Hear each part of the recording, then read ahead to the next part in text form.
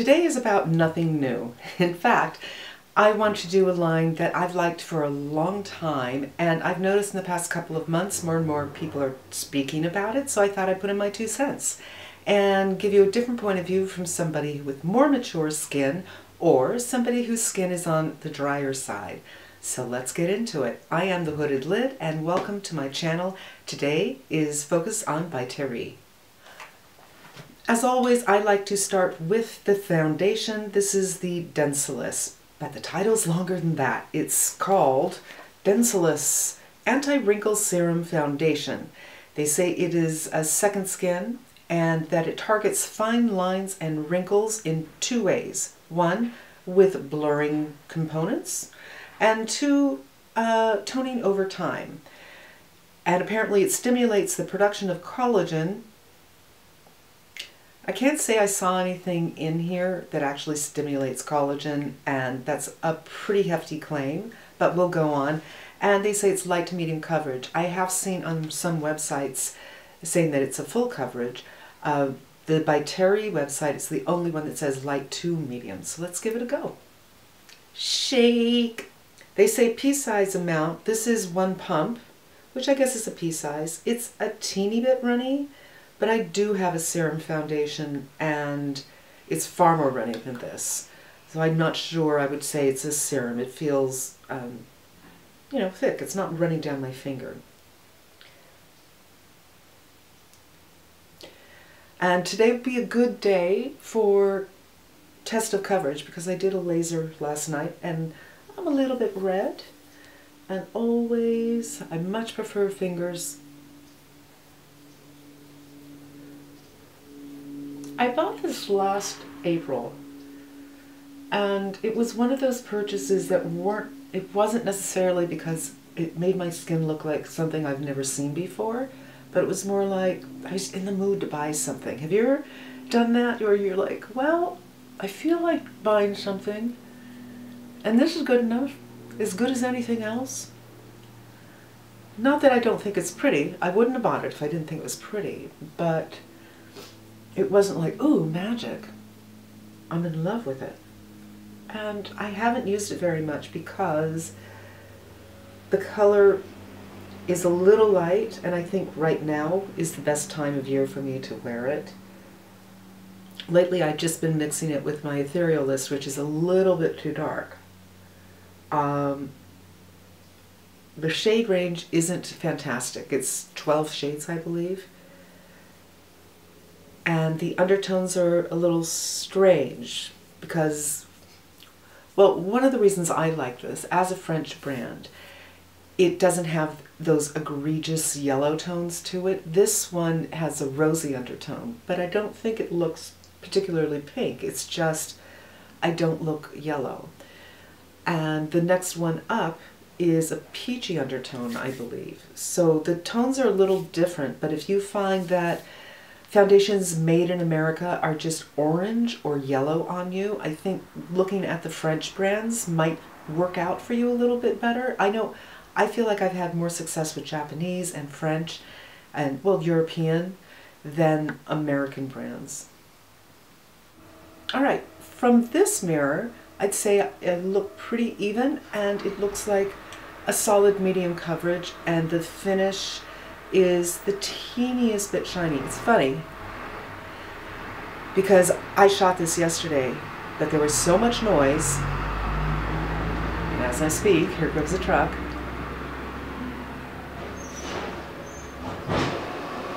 Let's talk about the Densiliss concealers. I've had these for a long time. They were my go-to for quite a while and then I kind of ventured away, so it's coming back. I don't remember these as being full full coverage and they are expensive. They're $69 but I'm getting to that point in my life where I might be having to make that decision. Do I want to completely obliterate any darkness? Just to be clear I have not found a concealer that does that but I'm looking or do I want something that is just not going to make my crepiness look worse? Something that's not going to dehydrate me? And that's what this is for me. I'm going to take the darker color now because this is a little bit too light for me and I don't want lightness on top of the puffiness. So I'm going to put it right down here and kind of work it up and out.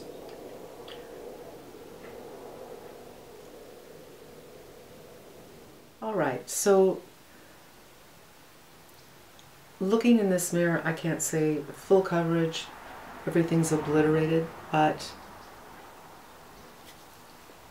it's also not making me more crepey. It's not dehydrating me. So for older skin or drier under eyes, I think this is a really good choice. This isn't perfect right here, but I think I can finesse with this and maybe get a better look out of it. You know what this is. This is the By Terry powder that I adore. I've been using it for three years and even though this is a small container, smaller than say the Laura Mercier, I still have, I bought a backup two years ago thinking, well, I'll be done with this soon. I use so little that I, I think I have months and months left on this. So I'm just going to powder where there's a little bit of shine and where I'm going to be putting some bronzer and blush and the chin. I feel like I still have some radiance, but I'm not as shiny. So let's get into blush or bronzer. I haven't decided. I've mentioned I've liked this brand for a long time, and I have found that a lot of these products are not available currently. You can find a lot of them, you know, stock that is probably not sold out yet, so I'm going to talk about them anyway. This is the blush, and this is solid. This is metal it is a big amount. And it reminds me of this by Chantecaille. The Chantecaille is plastic though. So even though this reminds me of an Elsa Peretti from the 70s, I really love this. But this is just solid. It's weighty in the hand and there's a lot more product in here. This is the color and look at that quilting. I love that. When I bought this, it was my go-to. It has a bluish undertone. It's kind of a mauvey pink and I think works well for my skin tone in the fall and in the winter. And it is so smooth and delightful.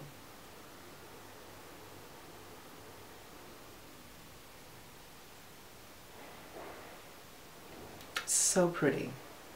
The color is Nude Dance I think it's number three or number four. It's just subtle and fresh and pretty and these are the kind of colors I like on my cheeks the best. I feel like I need a little bit of pinkness in my cheeks to make me look like, you know, I'm not dead. This is their Sun Palette number two, and it is definitely not in production anymore, but I have seen a couple of Sun Palettes Again, probably old stock. I saw one at Net-a-Porter. But this is so neutral and so lovely. I think it just, if you are fair, light, light medium, which I consider myself, it's just enough. It's just a kiss without being too much. I like to put these two together for my bronzer.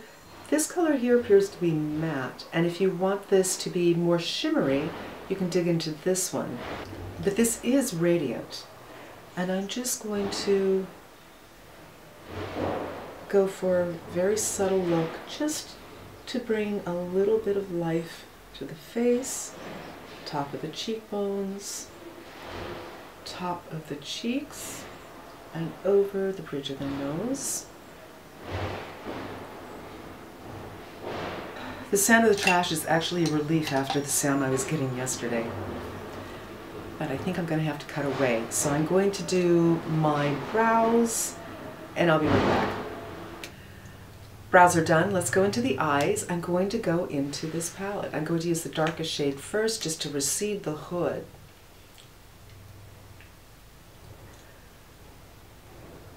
By Terry has a very well-known cream product. It's a stick called Black Star. But I have sticks like that in Laura Mercier and in Bobbi Brown. And they just don't really float my boat. So I don't have that by uh, from by Terry. And their palettes, I've only seen one of them in real life, and I just didn't. I could admire the colors, but I really couldn't see how I would be able to make them work.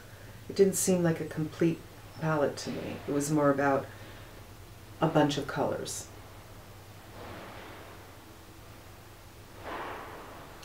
But this is new for me. I've never used a bronzer around the eyes. I know that a lot of people do it, and I think it's about time I gave it a try.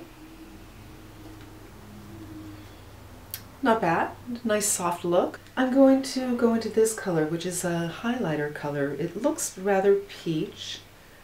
I just want to get a little bit of reflection on my lids. So let's see.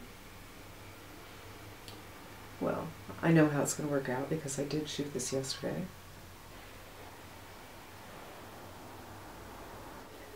And then I'm going to go into this blush color since I didn't use it on my face. I want to give it a little bit of love and get the most use out of this.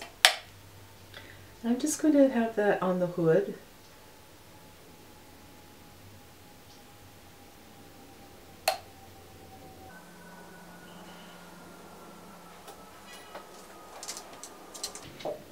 Hi, baby.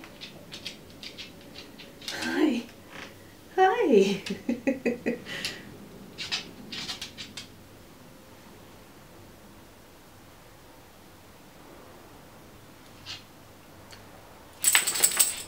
All right, I think that's a very nice, basic, everyday, easy eye look. And I don't know why they stopped with these palettes. I feel like actually By Terry has made a lot of changes and I think some of them are good, some of them I really didn't understand, and some of them I think are bad. And let's get into that. what a weird intro. Lips. I have a lot of lip products from By Terry and one of them, the best one of them, is discontinued. These are their lipsticks. They are terribly Densiliss. They are so beautiful. They're opaque. They require swipe, swipe. You're done. And they're so comfortable on the lips. Probably, and I'm not exaggerating, the most comfortable lipstick I have. And they're no longer making this. I guess it's not the trend anymore.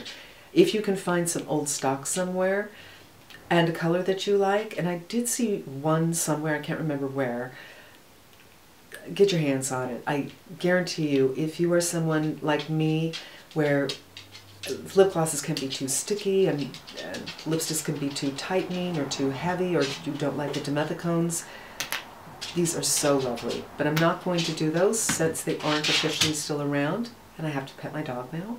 This is the one gloss I have from them. I'm not going to put it on because this was a mistake. They had this in two colorways and I, I should have gotten the warm one and I should have returned it when I saw it, you know. I'm like, no, it makes me look dead. It's just not a great color for me.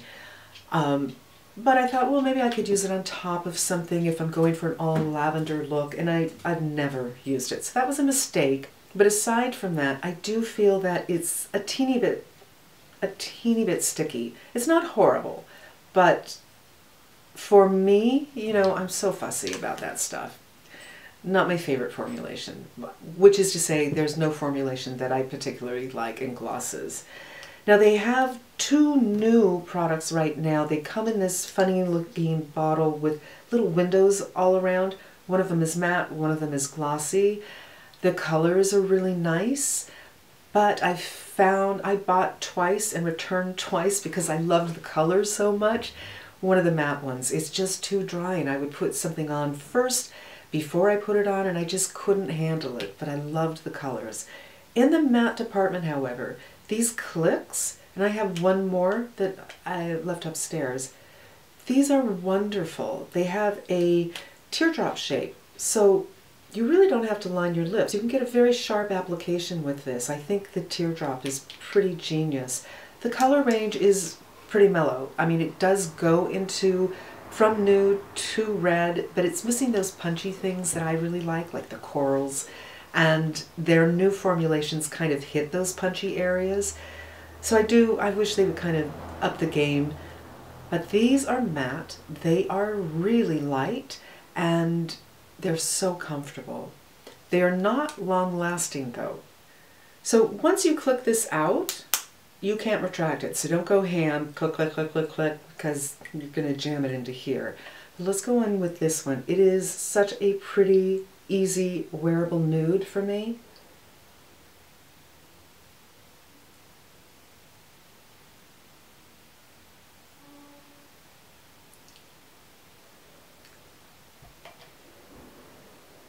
I really love it. I'm going to put it right here in my nude pile and not bring that back upstairs because I forgot about it. Okay, some mascara, some lining, and I'll be right back. So that was Pat McGrath Blitz Brown, and this is the Hourglass Film Noir, the mascara from Hourglass that no one ever talks about, that I think is pretty brilliant. And I think that's pretty much it. I really like this look. I think it's a fabulous day-to-day -day look. It's pretty fast. If I wasn't speaking, I could probably do this in maybe 10, 15 minutes. And yeah, I'm going to put down my hair.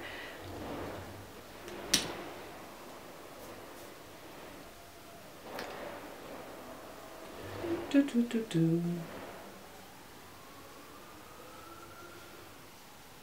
I don't know. I maybe it's the blush pink sweater, uh, the time of the year, the color of my skin right now. But I really like this look. It feels very soft and it has a quote unquote, I hate it when I do that, I have to stop, but it has that kind of natural look about it. So it's obvious, it's apparent I'm wearing makeup, but it doesn't look like a lot of makeup, it doesn't look too much. I think great for work, um, maybe too much for picking up kids, but I really like it. It's just soft and pretty and easy. So there you go. If you can find this, and I really kind of regret I didn't get more than one. I, the bright ones are very compelling to me. But, you know, I like that color. It doesn't mean I would have been able to use it. But if you can find one, do it. This foundation is very, very comfortable. So as I said, I did shoot this yesterday and the sound was really bad, so I'm reshooting it. It was very comfortable all day. For me, it's long wearing, but most things are. I don't have a problem with things breaking up. And I really like the color selection because it's not like American Color Selection, so it's not egregiously orange or yellow. But if you do fall into the orange and yellow, you might have a hard time getting a match. But if you're like me and you have a hard time with the American things, I think it's worth it. It's so comfortable. If your skin is dry, and remember I did my uh, laser last night, it's covered up that redness and it's not giving me that tight feeling that the Guerlain gave me. Really, really like it. If you have oily skin, I'm not sure. I'm not sure if that'll work out for you, but normal to dry, give it a try. The concealers, it's not full, full, full coverage, but it's okay coverage. And it doesn't make my eyes look more crepey, as many do, and it doesn't feel like it's dehydrating. So I'm going to, I'm not 100% in love with the application. I'm keeping these out and I'm going to play with them with the Pearl and with the Laura Mercier um, regular primer and see if I can get um, a nicer look out of these because I have them. the powder, you know how much I love this powder. I don't think I need to speak any more of it. This blush, it's staying out. It's the season. It goes on so smoothly. It loads your brush pretty heavily if you if you dig in. So just be a little careful with it. But I think they only have a few colors in this anymore, and now they have a half and half where it's called Blush and Contour, except some of them look like blush and blush. It doesn't look like blush and contour. Each one is different. And I imagine the formulation is probably the same. I think they do powders so well that blush is worth it to me. And these Matte Click Experts or Expert Click mattes, they're so comfortable. They are matte, but they're creamy. And if you like that mattish look, I had a uh, gloss on beforehand, but if you like that mattish look, but you don't like how uncomfortable mattes can be, absolutely lovely. And I love that teardrop shape. And there you go. Thanks so much for spending some time with me. I hope you found it informative and helpful. Maybe I gave you some ideas. Thumbs up for the foundation, absolutely. And uh, yeah, I hope you come back again. In the meantime, I'm wishing you a great day.